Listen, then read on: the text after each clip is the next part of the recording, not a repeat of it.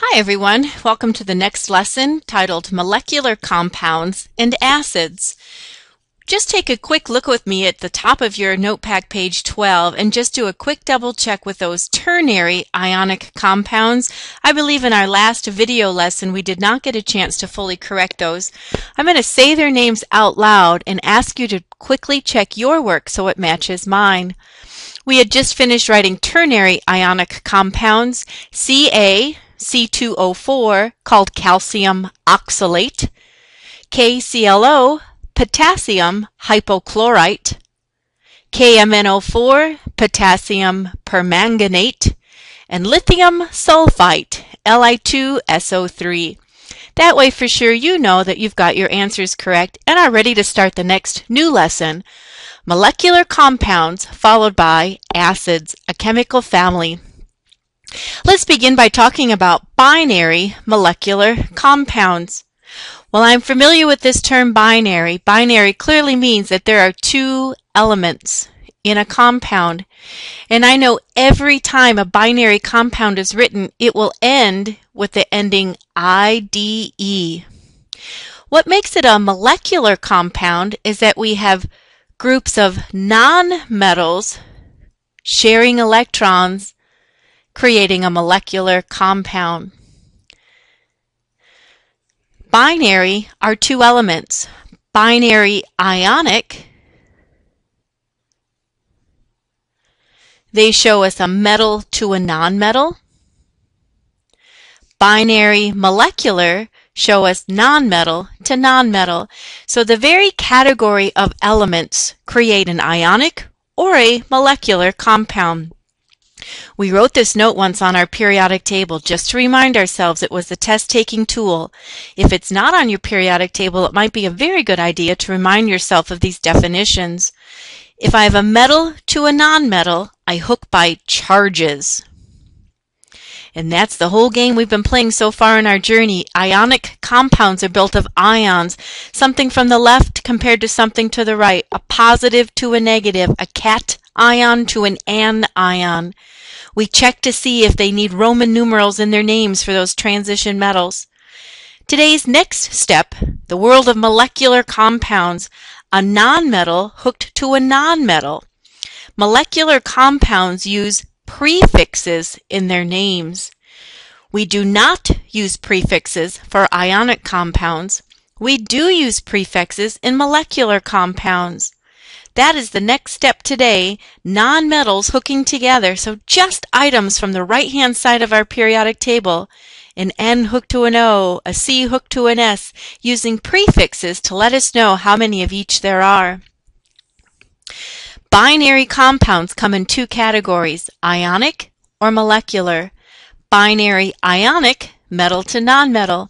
Binary molecular, nonmetal hooked to nonmetals. Since they form from different elements, we have a different set of rules for naming them. When we name molecular compounds, we use prefixes. The prefix, prefixes we use tell us how many of each atom there are in our formula. For instance, if I wanted to let you know I had just one atom, I would use the prefix 1 to represent the subscript 1. I would use the prefix di to represent the number 2 if that were my subscript. Tri is the number for the subscript 3. Tetra is for 4 and penta is the number 5. Mono, di, tri, tetra, penta for the subscripts 1, 2, 3, 4, 5 respectively. The subscript 6 gets a prefix hexa. 7 is the prefix hepta. Octa for the number 8. nona for the number 9. And deca for the number 10. Counting chemistry style.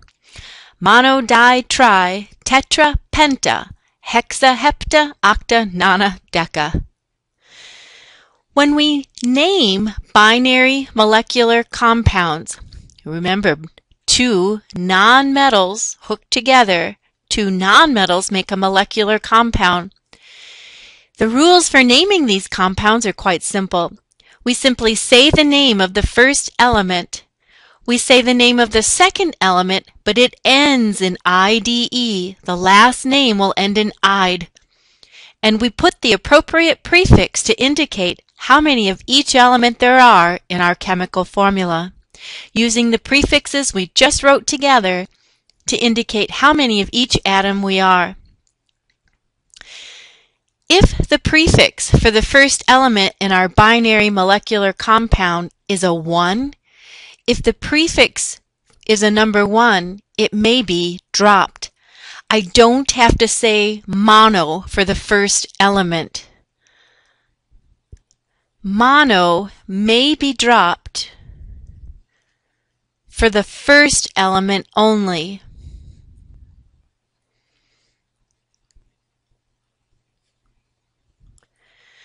but it must be said for the second element. I may drop it for the first, but it has to be there for the second element. A good example of what I'm saying. Let's name this molecular compound CO. C stands for carbon. O stands for oxide putting on the prefixes. Notice it's just the last name that ends with "ide." The name of the first element, say it just as it is. The name of the last element must end in "ide." So far, we say the name of the first element, say the name of the second element, ending in "ide," and now we're told put on the appropriate prefix to indicate how many of each there are in the formula. One carbon, we would say monocarbon, and one oxide, monooxide. What my suggestion is, if the first element is a 1, as in this example, you may leave off the mono from the first name. So instead of saying monocarbon, we can simplify to just say carbon. But if the last one is also a 1, it must be there. This correctly named is monooxide, but we'll lop off the double vowel problem and just simply say monoxide. CO carbon monoxide. Do not reduce the subscripts as we did for binary ionic compounds. Binary ionic compounds must be in the lowest ratio possible. Binary moleculars, leave them alone. Let's practice. We're going to say the names of these binary molecular compounds, just saying their names. The formula of N2O. Notice N is a nonmetal, O is a nonmetal, categorizing this binary molecular compound.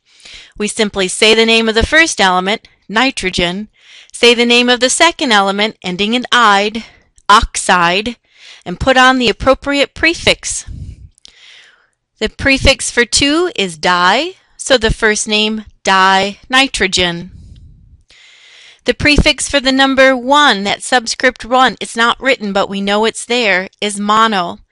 And instead of saying monooxide, we lop off the double vowel to simplify it, monoxide. We've just written a formula, N2O, and named it dinitrogen monoxide. PCl3 Notice the first element is just the number 1, so I'm going to choose not to say mono and just simply write its name, phosphorus. Cl ending in ide is chloride, and the prefix for the number 3 is tri, trichloride.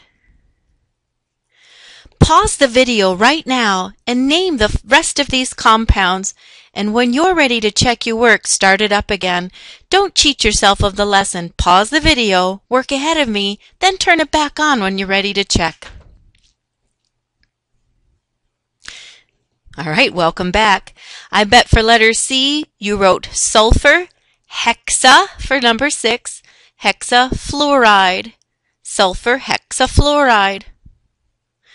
Letter D, just one oxygen, so I'm going to leave the mono off. Oxygen, difluoride.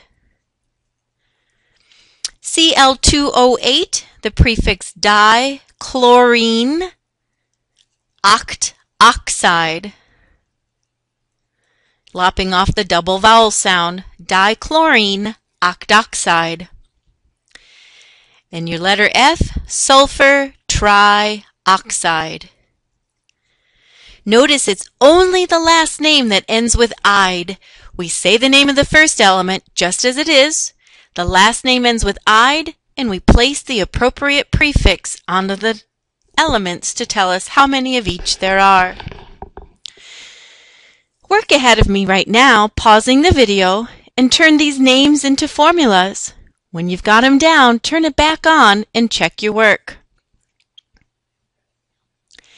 Letter A says nitrogen trifluoride. Nitrogen symbol is N. The symbol for fluoride is F, and to let you know there's three of them, we simply write NF3, nitrogen trifluoride. Disulfur dichloride. Disulfur dichloride. S2Cl2. Dinitrogen tetraoxide. Dinitrogen tetroxide, N2O4. Octoxygen dichloride. Oops, there's a typo there. That's an IDE ending. Octoxygen, that's eight oxygens. Dichloride, Cl2. O8, Cl2. Trinitrogen pentoxide trinitrogen pentaoxide N3O5. Binary compounds end with "ide." Only the last name end with "ide." Remember binary compounds can be ionic, no prefixes, or they can be molecular, yes prefixes. Ionic compounds are built of charges. Ionic compounds, we take a positive and negative and crisscross. Molecular compounds are neutral. There are no such thing as charges, so we must use prefixes in the name to tell the reader how many of each there are. Learning to count chemistry style. Let's say them again just to remember them so they begin to stick in our head. Mono, di, tri, tetra, penta, hexa, hepta, octa, nona, deca.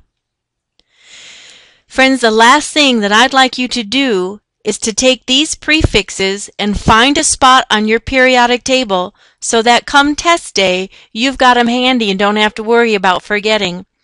A test-taking tool, learn to count chemistry style, mono, di, tri, tetra, penta, hexa, hepta, octa, nona, deca. Complete your periodic table test-taking tool area wherever you have a spot. And when you're ready, start up the next video on the lessons for acids.